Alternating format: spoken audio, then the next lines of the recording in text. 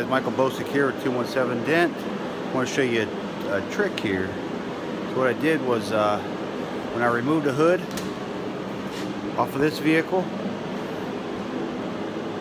both of the sprayer nozzles broke. What I did was I went ahead and uh, replaced both of those.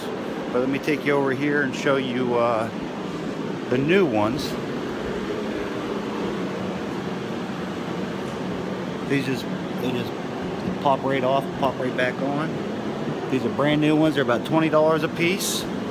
This is a uh, older vehicle, and they tend to tend to break on the older vehicle because they're hard plastic. They get dry. What I do in order to clean these ones out, though, I have to get that broken piece off of there.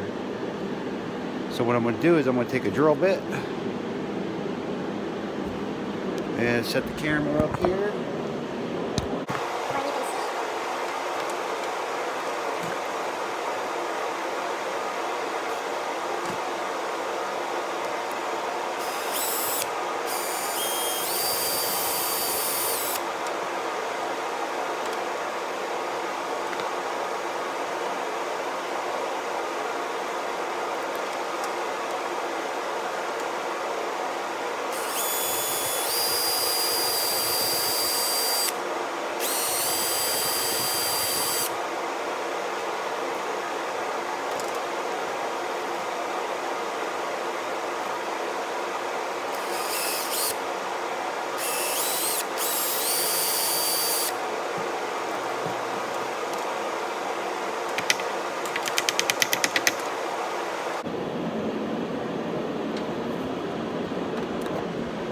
There you have it, Mike, Bo Mike Bosick here with 217 Dent.